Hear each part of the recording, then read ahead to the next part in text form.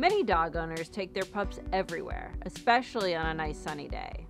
Whether you're hitting the beach or exploring a new park or trail, chances are you're going to be bringing your four legged friend. As people, we're often reminded about the importance of sun protection. But what about for dogs? I'm Dr. Juli, and this is my friend Chibi. Today we're going to talk about sun safety tips to keep in mind for your dog. Most pet owners probably don't even think about sun protection for their pets because of their fur. But actually, your dog can become sunburned. Your dog's risk level for UV damage is affected by the color of their skin and also the thickness of their coat. Hairless breeds, like Chinese crested dogs, are especially prone to sun damage. Other breeds, like Dalmatians, Boxers, Greyhounds, and Bull Terriers, are at high risk for sun damage due to their light color and short fur coats. Depending on your dog's preferences, if they really enjoy sunbathing, they're also at risk for UV damage. So how do you know if your dog has a sunburn? The most commonly affected areas for sunburn on dogs are the ear tips, bridge of the nose, around the mouth, the armpits, and the belly. You might see red, flaky, or swollen skin that's sensitive when it's touched. If your dog has a mild sunburn, make sure not to put any topical ointments like aloe on the burn because this can actually be toxic if your dog ingests it. Instead, try taking a cool compress and applying it to the area. In some cases, your veterinarian may prescribe a topical antibiotic or an anti-inflammatory cream. So if you're going to be spending a lot of time outside, you can grab a dog-safe sunscreen and apply it to those burn-prone areas. Once you're outside, make sure to reapply sunscreen every 4 to 6 hours or after your dog goes swimming. Sunburns are not the only hazard with prolonged sun exposure. Because your dog wears a year-round fur coat and they can't sweat like we do, they're at an increased risk for heat exhaustion or heat stroke. Although dogs have some sweat glands, they primarily cool themselves through panting.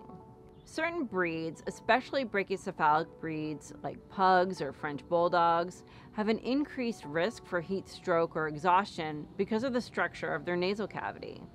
In addition to prolonged direct sun exposure, other culprits for heat stroke include dogs who are left inside a non-air conditioned car even if it doesn't feel hot outside, excessive play during warm weather without any breaks for cooling or hydration, inadequate access to cool water during warm weather, and being left outside without shade or water. You also want to be mindful if you're walking your dog outside during a hot day because the sun can heat up that pavement very quickly. So what are some things you can do to proactively protect your dog from the sun? Start off by avoiding taking your dog outside during the hottest part of the day, and this is usually between 10 a.m. and 4 p.m. When you do go outside, make sure your dog has proper shade and you take ample breaks. Hydration is key, so make sure you have fresh water available at all times.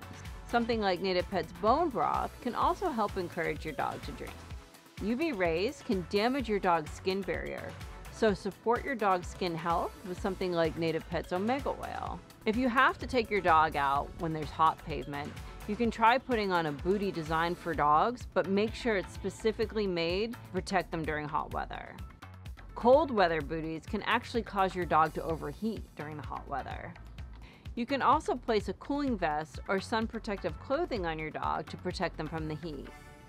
And a word of caution, if you think that your dog is suffering from heat exhaustion, your first reaction may be to put ice cubes on them or give them cold ice water, but this can actually shock their system and cause more damage. So at the first sign of any heat-related problems, immediately bring your dog indoors and you can try giving them cool or tepid water while you call your veterinarian. Spending time in the sun with your dog can raise everybody's mood, but make sure you follow these sun safety tips to keep your dog healthy and happy.